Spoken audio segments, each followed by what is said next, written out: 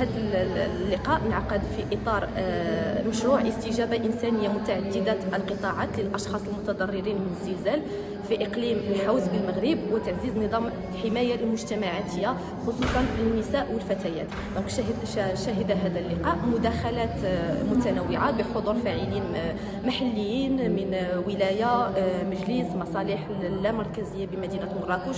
وكالة التنمية الاجتماعية ومنظمات وجمعيات وطنية ودولية. كذلك شهد حضور محامون ممثلي النيابه العامة أساتذة جامعيين إلى غير ذلك. دونك الهدف العام من هذا اللقاء هو تحسين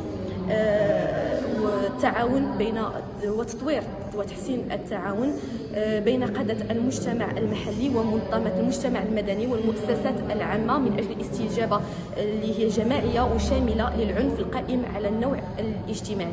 دونك من خلال مداخلتي حاولت أن أركز على بعض المصطلحات الاقتصادية والتي لها علاقة بموضوع هذا اللقاء آه، مثلا المصطلح آه، اقتصاد الأزمات التنمية المجالية التنمية القروية آه، الفوارق الاجتماعية إلى غير ذلك وحاولت ملائمة هذه المصطلحات مع أزمة الحوز من أجل إعطاء رؤية اللي هي شاملة ومتكاملة حول الموضوع.